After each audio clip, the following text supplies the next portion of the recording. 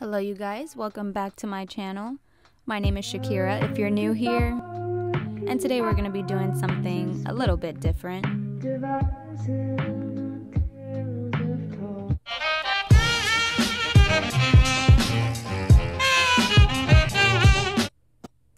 Now before I get started, I just wanted to give you a quick disclaimer. I'm neither a doctor nor a licensed cosmetologist, so everything that I learn and share with you here on YouTube, you can do just as easily the research for yourself. That said, this video is for entertainment purposes and anything you see and do is on your own accord. Now that we got that out of the way, I'm going to be taking you through my curly to straight hair care routine, and I'm also going to tell you a little bit about a home hair treatment that you can do to keep your hair healthy and nourished and shiny. And today I'm going to be using olive oil. Olive oil is a very common household ingredient that you can find in almost everybody's kitchen, but I'm sure you guys know that it's also very popular to use in beauty, hair, and skincare as well for its many properties that can actually improve the condition of your hair and your skin. It's said to treat dandruff, moisturize your hair, and reduce scalp irritation. It's also said to promote hair growth due to its vitamin E content, and specifically tocotrienols, which are one of two compounds contained in the essential nutrient of vitamin E. Olive oil is also 83% oleic acid, which we talked a little bit about this in our castor oil video. But oleic acid is a monounsaturated fatty acid and it's said to be capable of penetrating the hair shaft. Again, because of the vitamin E and oleic acid, the oil reduces oxidative stress, which is a cause of premature hair loss. If you didn't know, oxidative stress weakens the hold that your scalp has on your hair, and it's caused by free radicals that are present in the body. So let me know in the comments if you'd like to learn more about the effects of oxidative stress on our hair, skin, and our bodies. I'd be more than glad to make that video for you guys. So you already saw me getting a head start on applying the oil to my hair.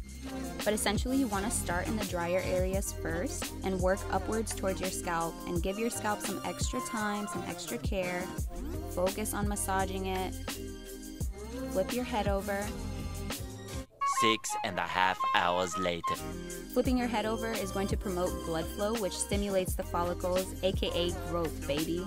I swear by this. It's one thing I've kept consistent in my ever changing hair care routine for years. Now, when you're doing something like this, you do want to make sure you use extra virgin olive oil just because it's better quality. Although, if you have a different kind of olive oil on hand or a blend of oils, you could still use it and try observing any changes. Of course, that is at your own accord. And like I said, olive oil is great for your skin as well. Okay, so now I'm gonna go through what my actual wash routine is gonna look like. First, I'm gonna start off with a purifying shampoo because like I said, I did have an oil treatment in my hair, which was a combination of olive oil and one of my company's proprietary ingredients, which is a blend of 13 natural and botanical oils, specifically targeted to go all the way into your hair's cortex, which is the third innermost layer of your hair, and nourish it from the inside out. So I had that and the olive oil working their magic plus a week of not washing my hair having gone to the gym i have used uh, styling products so I want to make sure that I'm getting a really good clean. So I'm gonna use a purifying shampoo with apple cider vinegar.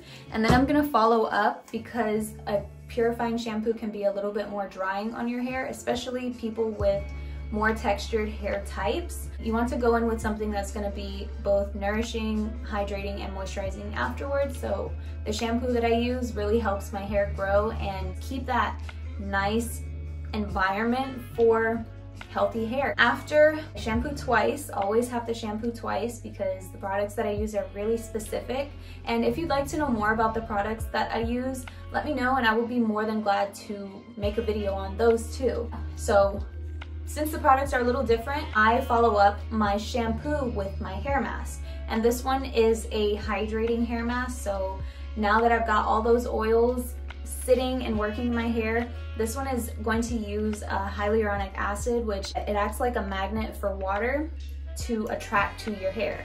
So now that I've got those oils, I want to make sure that I have water to hydrate. Because I'm gonna be heat styling my hair after this, I want to make sure that I have hydrated hair for an extended period of time. After I let my hair mask sit for a little bit, then I'm gonna follow up with my conditioner and this conditioner is specifically made for people that want more dense hair, that want thicker, longer, faster growing hair. So that's me, I fit all of those boxes. so yeah, this one is really good and it has a minty feeling. So like it kind of feels like you just washed your wash your hair with toothpaste. I know, the that's my wash routine. Now I'm gonna go and do that and then I will be right back to show you what products I'm gonna use to prep my hair for styling.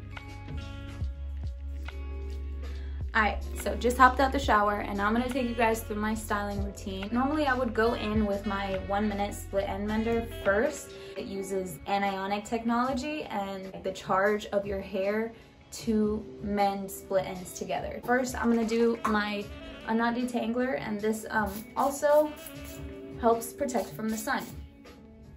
If I don't use my regular leave-in conditioner, which I'm gonna show you guys a different leave-in, um, I will go in with this because the leave-in also protects from the sun. So if I'm not using that one, I still wanna get sun protection. You see where I'm going with this. So I'm just gonna spray it around the hair and then just use my comb to loosely comb the product through.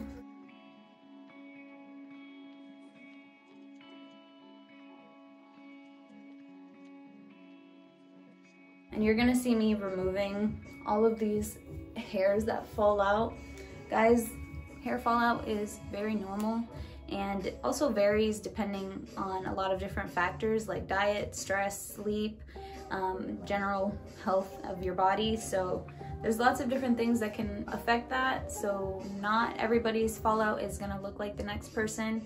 So that's just something to keep in mind. Next, I'm gonna use the spot treatment. I always go in with this along my edges and this is just a twice daily spray you spray it in the target areas. If you have like thinning hairlines or bald spots forming, it's really good to combat the formation of DHT, which is the hormone that is responsible for hair loss. So um, yeah, it combats the formation of that hormone in those specific areas. And that's something that's really popular in males and can form with male pattern baldness. So lots of guys use this product here.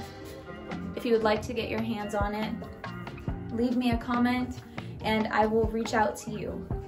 On second thought, I've provided you guys with a way that you can contact me in the description of this video. Thank you.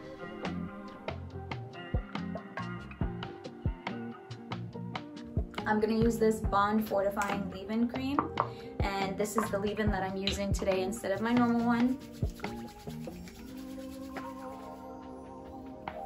Emulsify and apply it evenly throughout your hair.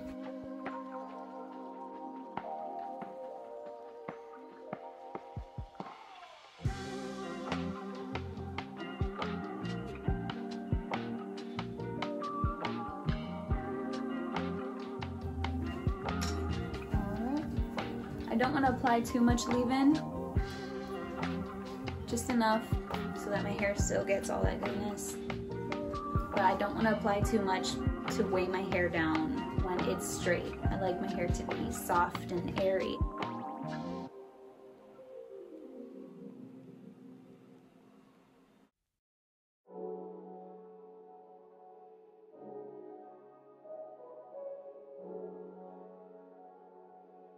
Finally, the last product that I'm going to be applying in this series of styling products is my blowout cream. And this one is going to help cut my blow dry time in half and protects it up to 350 degrees. So I am going to be letting my hair air dry, but afterwards I'm going to use the blow dry brush to style it.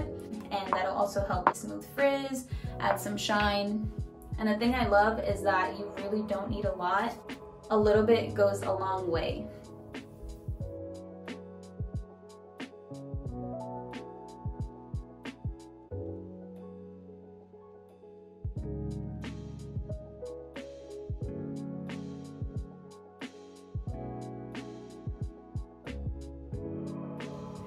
See me scrunching my hair here and that's just because I'm gonna be letting my hair air dry. I do have to go to work today so um, I don't have that much time to actually sit down and style my hair. Busy girl life, gotta split things up.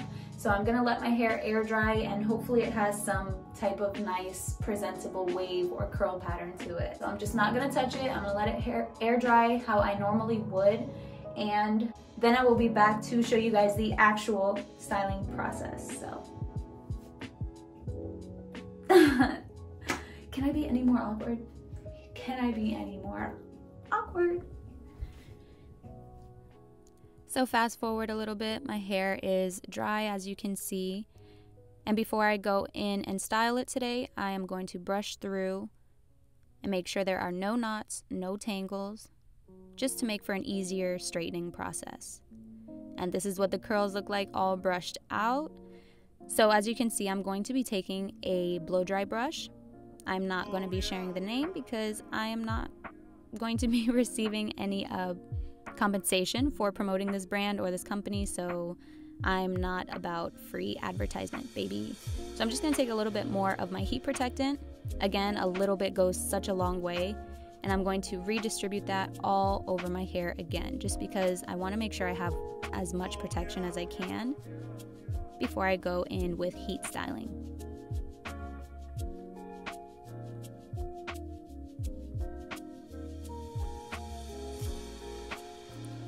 So this brush has a few different settings. I'm going to put it on the highest one and I am going to start at the nape of my neck and hold it very taut as or as taut as you can and basically use it like a rolling brush.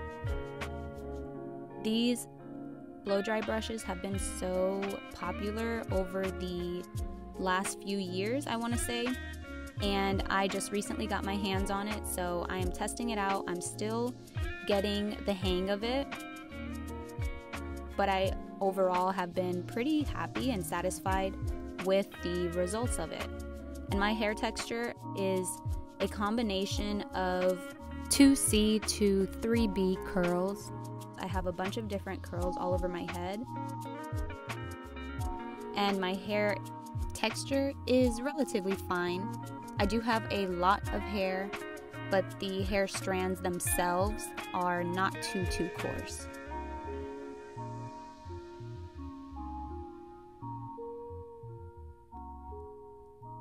So I'm just turning around to show you how I pull the hair when I'm blow drying it. Like I said, I'm still getting the hang of it, so I'd be turning my head and neck in ways that are a little bit awkward.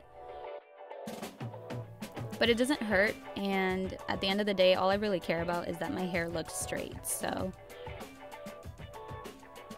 again, I'm going to just take another section, and here I'm parting my hair into two sections because when you have smaller sections, it's just easier to work with, especially if you have a lot of hair.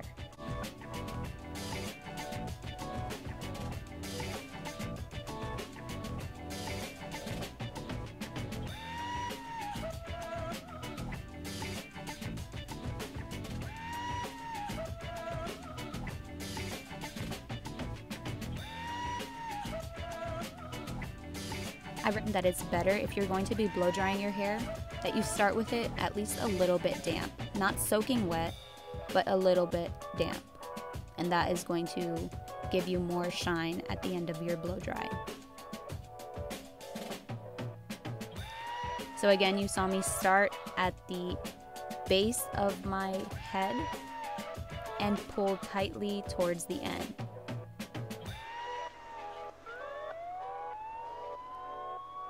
I'm just going to repeat this process on the rest of my head. And I don't want you guys to have to sit through that, so we went ahead and fast forward.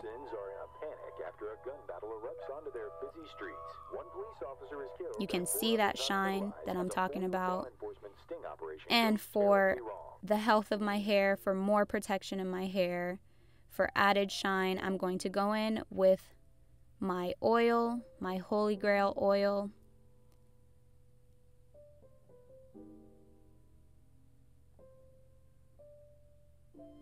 And I'm just going to finish up on this top section of my hair. Make sure there are no waves at the base of my head. So this is how it turned out. At the end of the blow dry, you can see very soft, very shiny. All thanks to the products that I use, I can honestly say that. Before, I used to have such heat damage after I would straighten my hair, which I would have it straightened for about 50 weeks out of the year, 50 out of 52 weeks in the year, and my hair was just so damaged because I was not using the right stuff. So just for some finishing touches, I'm going to take my flat iron and just do a few quick passes over the areas where you can see are a little bit wavier that the blow dry brush just didn't straighten.